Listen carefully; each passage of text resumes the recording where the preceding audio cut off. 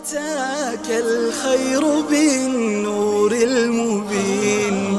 ونداء الحق من أبهى الخصال.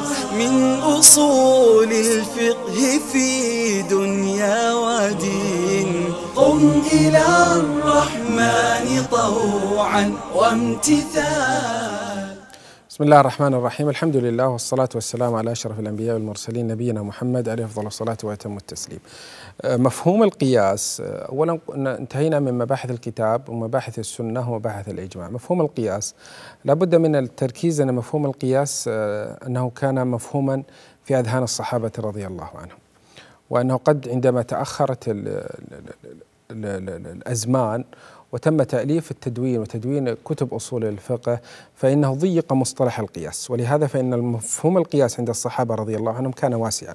فالمراد بالقياس عند الصحابة رضي الله عنهم هي القواعد العامة والمقاصد الشرعية ومرادات الشارع سواء كانت منصوصة أو غير منصوصة فإن هذا كانوا يسمونه هو كان مفهوم القياس عند الصحابة رضي الله عنهم.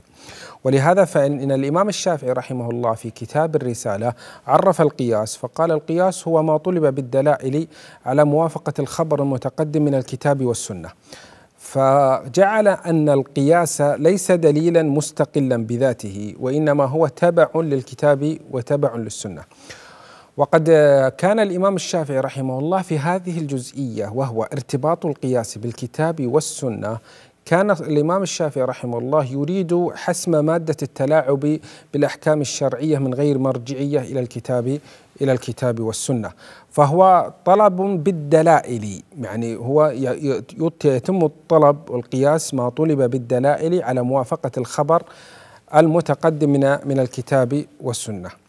وجاء الإمام الشافعي في كتاب الرسالة فقال أن ان أن لفظ القياس مرادف للفظ الاجتهاد. وجعل كل عملية اجتهاد في القرآن والسنة هي قياس.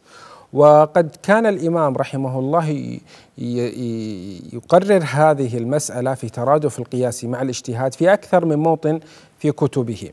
وقد جاء هناك انتقادات على الإمام رحمه الله في هذا وجاءت تفسيرات أخرى مثل تفسيرات ما الماوردي صاحب كتاب الحاوي الكبير الشافعية قال وإن إن مراد الإمام الشافعي رحمه الله في هذا الأمر هو أن كل ما لم يكن منصوصا عليه الكتاب والسنة فإنه يطلق عليه قياس لأنه لا يمكن أن يأتي إلا عن طريق عن طريق الاجتهاد.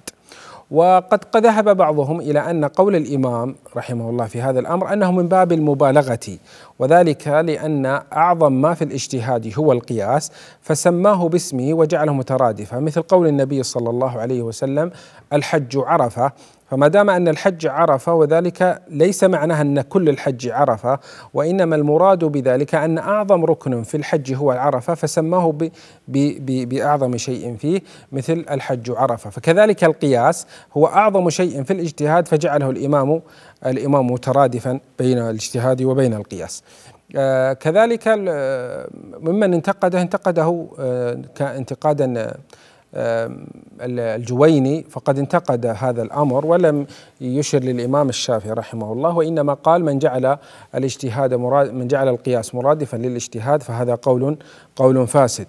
أما أبو حامد الغزالي فقد خطأ هذا القول وأن قال من الخطأ أن يجعل الاجتهاد مرادفا للقياس.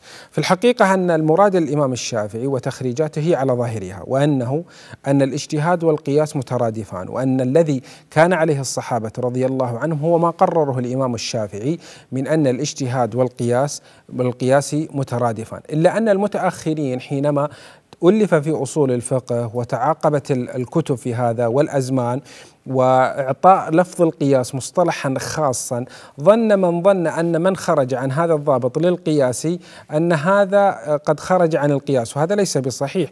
فإنك تجد أن القياس عندهم مثلا إخراج فرع على أصل إعطاء حكم فرع لأصل إعطاء حكم الأصل للفرع لعلة جامعة جامعة بينهما. وهذا ليس هذا مفهوما للقياس وإنما هذا أحد عمليات القياس وأحد عمليات الاجتهاد وأن القياس هو المراد بمعناه العام ولهذا يجوز التعليل بالحكمة. ويجوز التعليل بالمصلحة ويجوز التعليل باستقراء مرادات الشارع ومناسبات الشارع ومناطات الشارع فإن هذا كله يجوز التعليل بها وعلى هذا فإن هذه من عمليات القياس.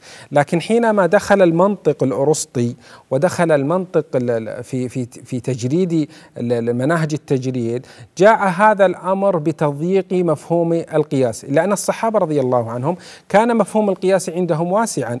ولهذا فإن مثلا حينما جاء جلد شارب الخمر فاستشار عمر رضي الله عنه كان يجلد في عهد النبي صلى الله عليه وسلم أربعين وفي خلافة الصديق أربعين وفي صدر خلافة عمر أربعين ثم اتسعت رقعة الإسلام وكثر شرب الخمر.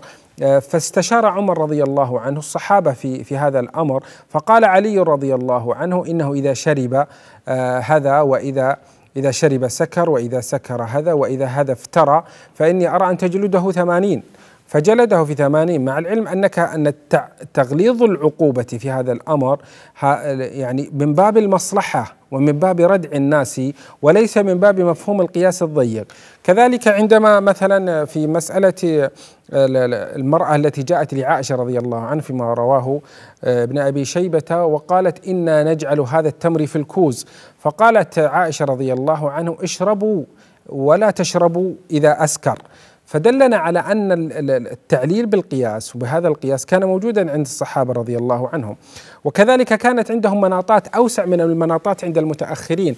ولهذا لما اجتمعوا في سقيفة بني ساعدة وكثر الخلاف واللغط في من يخلف رسول الله صلى الله عليه وسلم والنظام الذين سيقومونه بعد وفاة النبي عليه الصلاة والسلام قالوا منا رضينا إن الله إن نبينا عليه الصلاة والسلام رضي بأبي بكر لصلاتنا أفلا نرض لديننا أفلا نرضاه لدنيانا؟ فكان هذا القياس موجودا عند الصحابة رضي الله عنهم ولم يكن عندهم هذا التضييق بل كان هذا المفهوم القياس عند الصحابة رضي الله عنهم أوسع مما كان عند المتأخرين وجعله مرادفا لعملية الاجتهاد.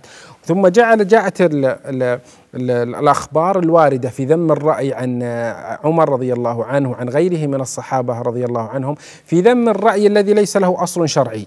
وهذا سواء كان قياسا أو اجتهادا فإنها مترادفة فكل اجتهاد وكل قياس ليس له أصل شرعي فهو تحمل عليه العبارات والآثار الواردة عن الصحابة رضي الله عنهم في ذم هذا القياس. وعلى هذا فإن المراد بالقياس عند الصحابة رضي الله عنهم هو القياس باعتبار القواعد العامة وباعتبار مقاصد الشريعة وباعتبار الأوصاف المنضبطة وباعتبار الحكمة التشريعية التي ذا. ويعرف هذا إما بالمنصوص وإما بالاستنباط وإما وإما باستقراء نصوص الشريعة الإسلامية. هذا والله أعلم. وصلى الله وسلم على نبينا محمد. الوعد تجلى كل حين. يرسم البشرى على رحب الوصال. من أصول الفقه بالعلم اليقين. نرتجي الرضوان في أسمى منال